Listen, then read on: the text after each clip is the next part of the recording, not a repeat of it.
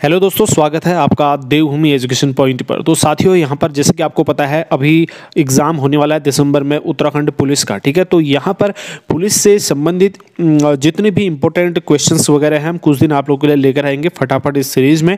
तो आप लोगों को प्रत्येक क्वेश्चन पर ध्यान देना है।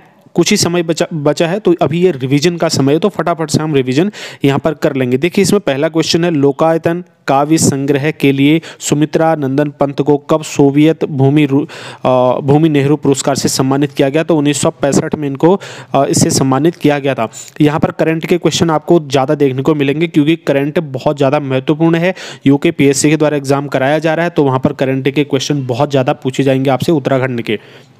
चलिए, बाकी ये हाल ही में उत्तराखंड की कितनी महिलाओं किशोरियों को तीलू रौतली पुरस्कार से सम्मानित किया गया है? तो दोस्तों, इसमें जो है बारह महिलाओं को ये पुरस्कार दिया गया है, ठीक है? इसको जो दिया गया था, वो कब दिया गया था? अगर पूछा जाता है तो आठ अगस्त दो हज़ार बाईस को ये ये जो है दिया गया था, ठीक है? आठ अगस्त दो हज़ार बाईस को इन पुरस्कारों को वितरण किया गया था। इन लोगों को किसने दिया गया था? उत्तराखंड के गवर्नर कौन है? गुरमीत सिंह है, ठीक है? तो गुरमीत सिंह के द्वारा दिया गया था। चलिए आगे बढ़ते हैं नेक्स्ट क्वेश्चन की तरफ़ उत्तराखंड संस्कृत विश्वविद्यालय हरिद्वार के वर्तमान कुलपति कौन है? तो वर्तमान कुलपति, देखिए ये भी जो है करंट का क्वेश्चन है। तो दोस्तों इसका सही जवाब जो है वो है प्रोफेसर दिनेश चंद्र शास्त्री। ठीक है प्रोफेसर दिनेश चंद्र शास्त्री जो है इसके वर्तमान कुलपति हैं इस समय। 23 अगस्त 2022 को जो है इनको general lieutenant general Gurmeet Singh यानी कि जो हमारे गवर्नर हैं, उन्होंने इनको अपॉइंट यहाँ पर किया था। आगे बढ़ेंगे। उत्तराखंड वन विकास निगम की स्थापना की गई है। तो उत्तराखंड वन विकास निगम की स्थापना जो है, एक अप्रैल 2001 को की गई थी ऑप्शन एक यहाँ पर फ़र्स्ट वाला ऑप्शन सही होगा, ठीक है? एक अप्रैल 2001 को की गई थी। इसके जो है ये जो है पहले उत्तर प्रदेश में जब हमारा स्टेट था तो उस समय उत्तर प्रदेश वन निगम से इसको अलग करके इसकी स्थापना उत्तराखंड में की गई थी। आगे बढ़ेंगे, देव संस्कृति विश्वविद्यालय की स्थापना कब हुई थी? देव संस्कृति संस्कृति विश्वविद्यालय की स्थापना सन 2000 में हुई थी, यानी कि ऑप्शन ए यहाँ पर सही होता है। अगर डेट आपसे पूछेगा तो 11 अप्रैल 2000 इसका सही आंसर होने वाला ठीक है? 11 अप्रैल हो जाएगा। तो हरिद्वार में है। दोस्तों, इसकी स्थापना जो की थी, वो गायत्री परिवार के पितृपुरुष पुरुष पंडित श्रीराम शर्मा आचार्य के द्वारा इसकी स्थापना की गई थी। डेट और सन आपको बता दिया है। आगे बढ़ेंगे। नैनीताल ज़िले की सीमा अन्य कितने जिलों से मिलती है? अब नैनीताल ज़िले की जो सीमा है दोस्तों, वो चार जिलों से मिलती है। ऑप्शन ए यहाँ पर सही है। आप देखेंगे दोस्तों, ये होता है पूरब, ये होता है पश्चिम, ये होता है उत्तर और ये होता है दक्षिण। अगर बात करेंगे उत्तर में ठीक है तो नैनीताल के उत्तर में कौन सा जिला है? अल्मोड़ा जो है नैनीताल के उत्तर में है और पूरब में कौन सा जिला है दोस्तों? पूरब में है चंपावत ठीक है पूरब में चंपावत हो गया और दक्षिण में यूएस नगर हो गया ठीक है यूएस नगर दक्षिण में है और पश्चिम में कौन सा यहाँ पर जिला है? तो पश्चिम में पौड़ी जो है आ, जिला है, किसके? नैनीताल के, ठीक है? चलिए आगे बढ़ेंगे। हरिद्वार की सीमा उत्तर प्रदेश के किस ज़िले से मिलती है? तो उत्तर प्रदेश के कौन से ज़िले से मिलती है? सहारनपुर से मिलती है। और बाकी बिजनौर और मुजफ्फरनगर, ठीक है? इन तीनों से जो है मिलती है, यानी कि ऑप्शन डी यहाँ पर को बिल्कुल सही होता है। दोस्तों, आपको बता दूँ, अगर बात करेंगे हरिद्वार की तो हरिद्वार के पश्चिम में जो जिला है ना दोस्तों, वो सहारनपुर है, ठीक है? हरिद्वार के पश्चिम में कौन सा जिला है? सहारनपुर है। अगर बात करते हैं इसके पूर्व में कौन से कौन सा जिला है? तो ये पौड़ी है, ठीक है ना? सहारनपुर तो उत्तर प्रदेश में आ गया, बाकी उत्तराखंड के हम पूरा इसमें देख लेते, क्या पता यहाँ भी कभी पूछ ले। तो पूर्व में इसके पौड़ी आ जाता है, और उसके बाद बात करेंगे उत्तर पूर्व में तो उत्तर पूर्व में इसके देहरादून है, बाकी दक्षिण में मुजफ्फरनगर और बिजनौर जो यहाँ पर आया है, ये इसके पड़ते हैं। आगे बात करेंगे रुद्रप्रयाग जिला किस लोकसभा सीट के अंतर्गत आता है? तो रुद्रप्रयाग जो होता है दोस्तों, वो पौड़ी गढ़वाल के अंतर्गत आता है, यानी कि ऑप्शन सी यहाँ पर बिल्कुल ठीक होगा नेक्स्ट है, उत्तराखंड में कितने जिलों तक बृहद या उच्च हिमालयी क्षेत्र विस्तृत है? तो कौन कौन कितने जिलों तक ये है? दोस्तों, ये छह जिलों तक है, ठीक है? छह ऑप्शन बी यहाँ पर सही होगा। वो ज़िले कौन कौन से हैं? उत्तरकाशी है, चमोली, टिहरी, रुद्रप्रयाग, बागेश्वर और पिथौरागढ़, ठीक है? ये छह ज़िले हैं। दोस्तों, जो वृहद या उच्च हिमालय है, ये लघु हिमालय के उत्तर में है, ठीक है? लघु हिमालय के उत्तर में और ट्रांस हिमालय के दक्षिण वाला जो भाग है, इसको बोला जाता है क्या? वृहद हिमालय। आगे बढ़ेंगे चंद्रकाल में सूली का डांडा शब्द प्रयुक्त था। ये बहुत ही महत्वपूर्ण क्वेश्चन मैं आपको बता दूँ, सूली का डांडा जो है, यहाँ पर क्या कार्य होता था? इसमें जो है फांसी वाली पहाड़ी इसको कहते हैं, ठीक है? जो जितने भी मुजरिम वगैरह होते थे, राजा जब आदेश देता था तो इस पहाड़ी पर ही इन लोगों को जो है फांसी की सजा दी जाती थी। अगला क्वेश्चन है, अकबर के काल अकबर के काल से उत्तराखंड राज्य क्षेत्र का मुगल साम्राज्य से राजनीतिक संपर्क होने का उल्लेख मिलता है। सिकंदर सूर की तलाश में अकबर की सेना इस क्षेत्र में लगभग कितने समय तक व्यस्त रही? तो कितने समय तक रही? ये छः माह तक व्यस्त रही थी। ठीक है ऑप्शन यहाँ पर को सी बिल्कुल ठीक होगा। नेक्स्ट क्वेश्चन है, निम्न में से कौन सा प्रत्याशी उत्तराखंड विधानसभा चुनाव दो हज़ार बाईस से बाईस में जो है सबसे कम अंतर से, ठीक है, सबसे कम अंतर से चुनाव जीते थे तो उनका नाम है मदन सिंह बिस्ट ठीक है। तो मदन सिंह बिस्ट जो है, ये द्वाराहाट सीट से इलेक्शन लड़ा था इन्होंने तो बीजेपी के अनिल सिंह को इन्होंने जो है एक सौ बयासी मतों से पराजित किया था, ठीक है। तो यानी कि सबसे कम अंतर से 2022 के विधानसभा चुनाव में जीतने वाले मदन सिंह बिस्ट हैं। आगे बढ़ेंगे, राज्य सरकार ने ओलंपिक में स्वर्ण पदक जीतने पर पुरस्कार के रूप में कितने रुपये की धनराशि देने की घोषणा की है? तो अब हम यहाँ पर बात करेंगे स्वर्ण पदक विजेता की, यहाँ पर बात हो रही है। तो इसके लिए दो करोड़ रुपये देने की घोषणा की गई है, ठीक है? दो करोड़ रुपए। एक करोड़ की अगर बात करेंगे अगर कोई कांस्य पदक जीतता है तो उसको एक करोड़ मिलेगा। और अगर कोई रजत पदक जीतता है तो उसको यहाँ पर देने का प्रावधान इन्होंने किया है डेढ़ करोड़ रुपए ठीक है? तो डेढ़ करोड़ जो है रजत के लिए किया गया दो करोड़ आ, किसके लिए किया गया दो करोड़ रुपए किया गया है स्वर्ण पदक के लिए। Cultural geography of Uttarakhand Himalaya नामक पुस्तक के लेखक कौन हैं? तो इसके पुस्तक के लेखक हैं दोस्तों विशंबर प्रसाद सती, ठीक है?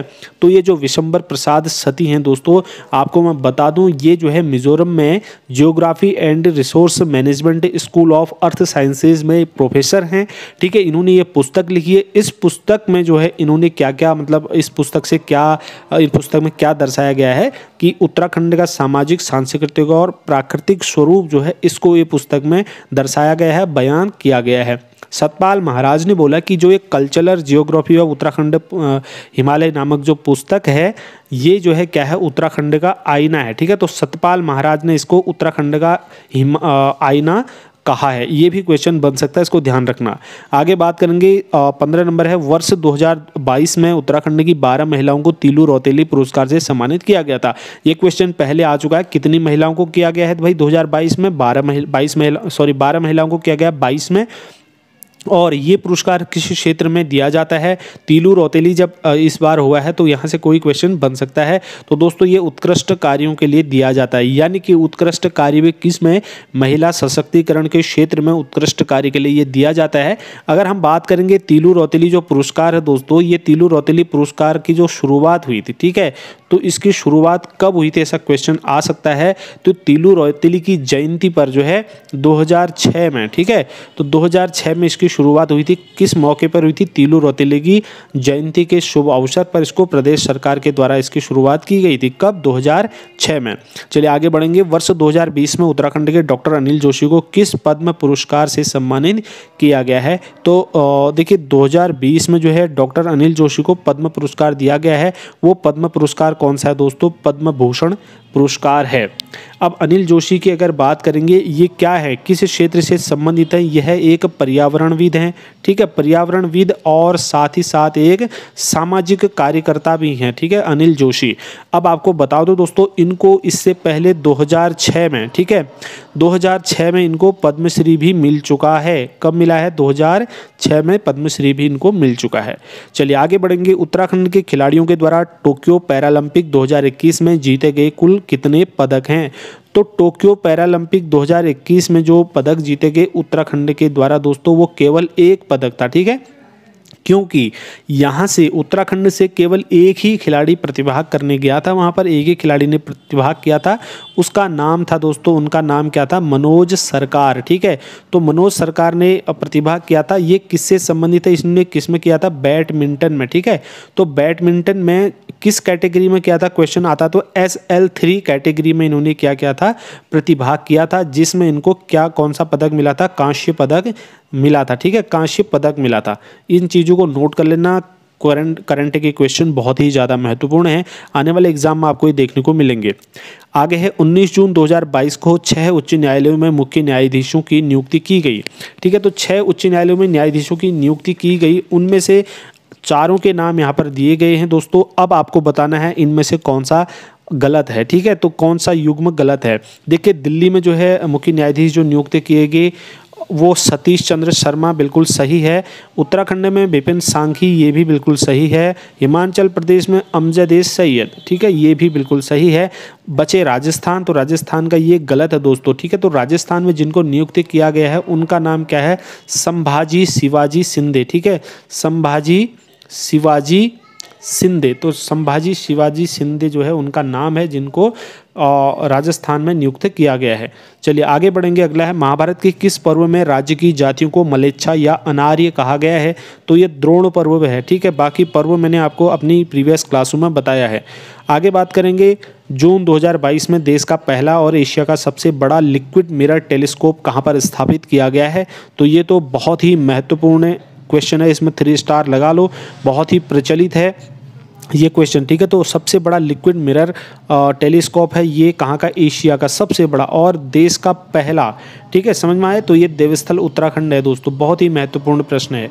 आगे बढ़ेंगे, राज्य सरकार के मंत्रियों के वेतन और भत्तों का निर्धारण किया जाता है।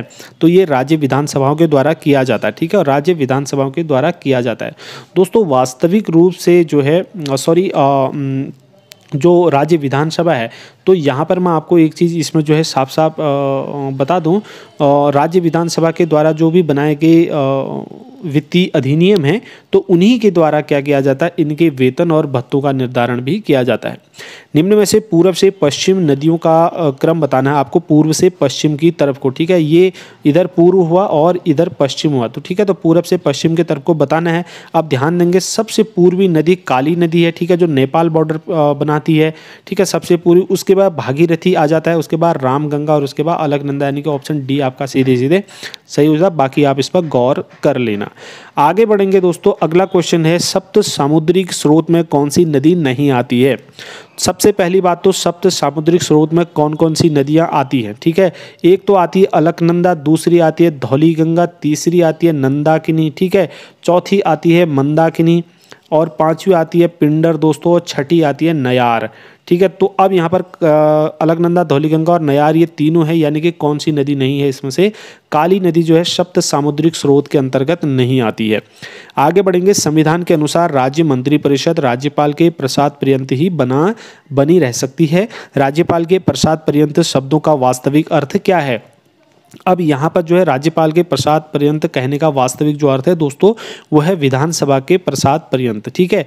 अब यहाँ पर मैं आपको बता दूँ, वास्तविक रूप से जो राज्य मंत्री परिषद है, राज्यसभा के प्रसाद पर्यंत ही जो है, राज्य विधानसभा के प्रसाद पर्यंत ही यहाँ पर बनी रह सकती है। क्योंकि यदि विधानसभा राज्य मंत्री परिषद के विरुद्ध अविश्वास प्रस्ताव पास कर देता है तो फिर राज्य मंत्री परिषद क्या हो जाएगा? भंग हो जाएगा। इसलिए हम कह सकते हैं कि ये विधानसभा के प्रसाद पर्यंत ही बना रह सकता है।